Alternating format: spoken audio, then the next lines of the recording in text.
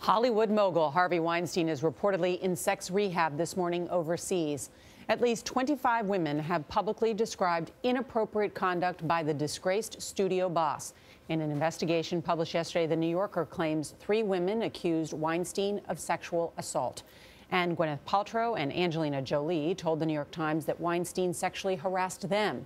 Jericka Duncan spoke with The New Yorker reporter who uncovered an audio tape of Weinstein admitting forceful touching. Jericka, good morning. Good morning. The Weinstein Company is promising a full investigation. Multiple sources, past and present employees, told The New Yorker they witnessed touching and groping by Harvey Weinstein.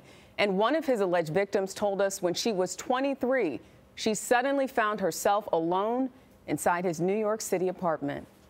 He came back out 100% fully naked. Katherine Kendall's meeting with Harvey Weinstein two decades ago is still fresh in her mind. Just give me a massage. Just let me kiss you. Well, you know, if you won't give me a massage, then will you at least pick up your shirt and let me see your breasts? And I'm like, no. I'm leaving. Ronan Farrow conducted a 10 month long investigation for The New Yorker. There are 13 women in this story. Three of them are alleging rape.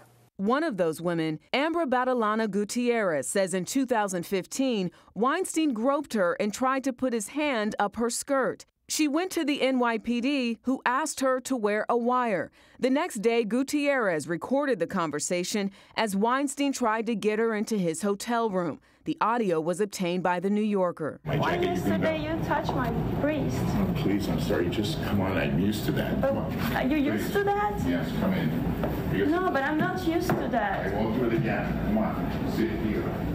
Weinstein was questioned by the NYPD, but the Manhattan District Attorney declined to prosecute him. The Weinstein Company says it is shocked and dismayed by the allegations of extreme sexual misconduct and sex assault, which came as an utter surprise to the board. Farrow told me it appears there is a reason it took 20 years for this story to unfold. It's a culture of fear, but also a, a broad array of legal instruments, uh, settlements that were used, a machine designed to keep these claims quiet. To keep Harvey Weinstein safe? to keep him employed? Described in detail in this story is a legal and public relations team um, that had that very goal, yes. Weinstein's wife, Georgina Chapman, told People magazine yesterday their 10 year long marriage is over. They have two children. Former President and Mrs. Obama said in part yesterday they were disgusted by recent reports about Harvey Weinstein.